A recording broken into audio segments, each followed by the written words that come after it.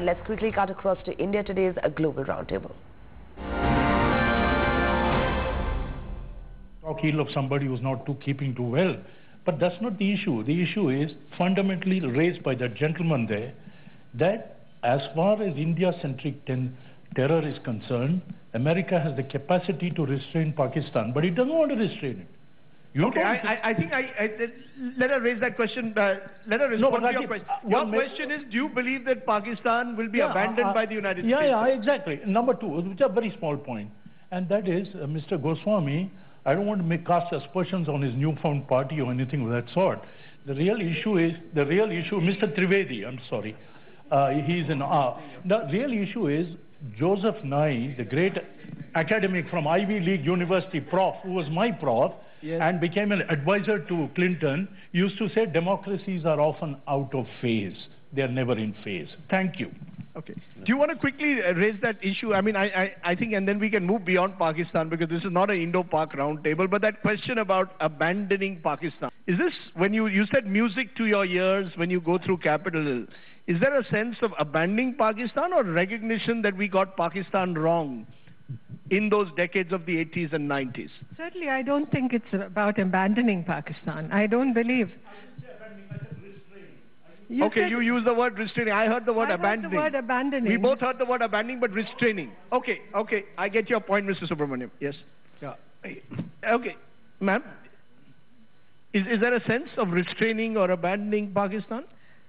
I think you should ask the Americans that question. And I certainly feel that there is much more recognition of our concerns about Pakistan okay. in Washington. Okay, and I'm not talking as a diplomat. I'm no longer a diplomat. I'm a wannabe academic, but, but certainly not talking as a diplomat. Okay. Yes, sir. Yeah. Uh, I'm from the tourism industry. Rajdeep, you talked about uh, market access. When Modi was in the U.S., an e-visa for Americans uh, on arrival. And uh, do you think, because the biggest access that Indians need for our software engineers and our other professionals is, you know, we have this restriction of visa. So do you think Obama would announce an e-visa for Indian professionals? Uh, Ma'am? I'm not. I'm not privy to the to the the preparatory discussions. But is there resistance? Is there resistance to that? Is there resistance in the United States, or again a recognition, growing recognition, that professionals from India need to be treated in a way differently to professionals that you might look at from other parts of the world? Or is the United States very clear that it's not going to change or offer some kind of exceptionalism for Indian professionals. I think what you're implying is that India should be the sabse pasanda desh. That's right. Okay. That's right. That, yeah, that, and market access has to be reciprocal. Certainly market access has to be reciprocal. When it comes to visas, the H-1B and L-1 visas for professionals, yes, there have been issues. There have been uh, challenges that we've faced, especially when it comes to our professionals getting visas. The obstacles have, you know, the obstacle course has just become a little more difficult, and we are yet to completely resolve that. But at the same time, the proportion of H-1B visas given to Indians globally is the largest. As you know, it's about 64%, I think, of all the visas that the Americans issue to professionals in that class or category. But certainly, there are problems, there are challenges that need, need to be ironed out. General Kadian, yes. My question is on a slightly different plane. You know, when we talk of relations between two countries, one is at the government level, which from all indications the relations are moving forward. Other is at the investor level, which actually flows out of the government policies. But my question pertains to how an average American views India. I'll tell you why I'm asking. About 20 years back, we were having a normal discussion, and a lady, American lady, we were in Paris, she remarked, she said, I'd love to visit India, but I'm very scared of snakes. Now that gave an impression that she thought India was a primitive country, unscientific, and even dangerous. You having been ambassador, madam, would have a good feel of the American public opinion. How does an average American today see India? And, and let me just add to that. A private tour operator just told me two days ago that business is down this, this winter because a number of, Ameri- of his American clients are saying, we hear that Delhi is the rape capital of India. And we are, we are frightened to send uh, our, uh, uh, our people to Delhi. And actually, the number of people coming in from America this winter has actually declined, tourists coming into India. How do they, to take General Kadian's questions, how, do, how does the average American view India? Well, the average American, uh, you know, the average American, the word they use in India is Joe, in America is Joe Sixpack.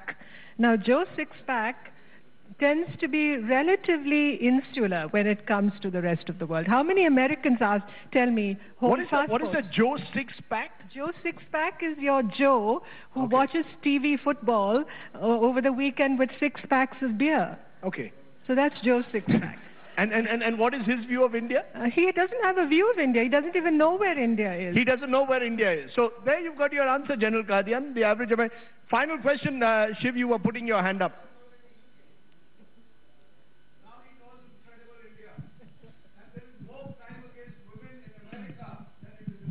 Okay. Well, well, the tourist industry needs to do much more to dispel than those stereotypes in America. Focus America. on Joe Sixpack. Okay. Uh, go ahead, Shiv. Uh, Last question. I, I just have a very practical question, and I'm sorry to be returning to the issue of terrorism, but that's what I'm interested in. Uh, Ambassador uh, Rao, you were ambassador in the Uni- in Washington, uh, you know, at a time when there was a virtual media frenzy over terror, over Pakistan. There was a lot of pressure. Uh, I have a practical question. Uh, in your experience, uh, obviously there was a great deal of pressure. Yes, these are, aren't issues that always have to be ventilated. Just out of curiosity as a citizen, what was it like speaking to the United States at that time when there was this overwhelming attention to India-centric, uh, you know, terror from Pakistan at that time as ambassador? Were there trust issues in your personal experience? If you could tell us what it was like for you personally as ambassador dealing with that kind of pressure, because obviously the demands on you personally to perhaps some kind of results from the American side must have been huge. He, he wants you to reveal all that you're going to say in your biography. Basically, how are you, I I mean, if, if tomorrow the, you know, much like the Jaswant Talbott books, you know, I, about dealing with American diplomats, let's put it more simply. Is there a trust deficit that still exists when it comes to contentious issues, or do you believe that is declining or even evaporating? Well, I think the communication flows much more easily than in the past. There's no two opinions about that. But it's not easy to break down prejudices and stereotypes and, and opinions built up over six, six decades. And I'm not just talking of bureaucracies, I'm talking of congression, the congressional space, I'm talking of the media. In Because the you, you remember, ma'am, a year ago, the entire Devyani Khobragade incident and the way it played out in this country and the way it seemed to play out in the United States. Is there a trust deficit that still exists at I- the diplomatic level, or is that over time declining substantially? I don't believe there's a trust deficit, but sometimes we pass each other as ships in the night, I think. sometimes, but not always. It happened, as you said, in that unfortunate episode that you referred to. I will not. Do, you- do you believe that that episode is, is, is an aberration in that sense? Or does it reflect? Definitely, It- definitely. it's an aberration. Definitely was an aberration, and it should not have happened and need not have happened. Mm-hmm. Okay. I think you've been extremely candid. The good thing is diplomats, once they retire, are, are far more candid than when you, when you were in office, ma'am, perhaps, because you had pressures. But it has been wonderful talking to you. Please give a big hand to Ambassador Nirupama Rao for, for opening up the roundtable here today. Thank you very much, ma'am. Thank you very much, Rajdeep, and thank you very much, Ambassador Rao. It was a very engaging conversation. Can we please request you to release our special issue?